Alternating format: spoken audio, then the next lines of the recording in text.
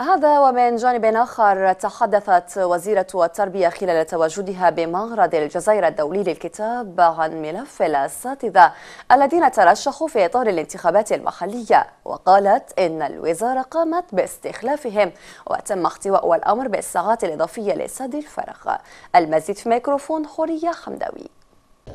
Trois possibilités.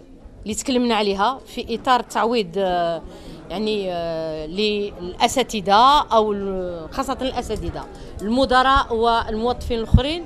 ما عندناش نفس البروتوكول.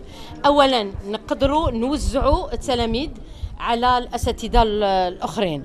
آه، ثانيا نقدروا في إطار الساعات آه، الإضافية. الأستاذ اللي يقبل يعمل ساعات إضافية ويأخذ دونك القسم تاع زميله وثالثا إذا ما نقدروا لا في الطريقة الأولى أو الثانية عندنا كذلك طريقة ثالثة هي آه، نقوموا باختلافين الاستخلاف بالاستخلاف.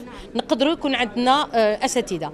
دونك في هذا الميدان أخذنا كل الاحتياطات تاعنا داخل قطاع التربية الوطنية باش التلميذ ما يكونش بدون أستاذ.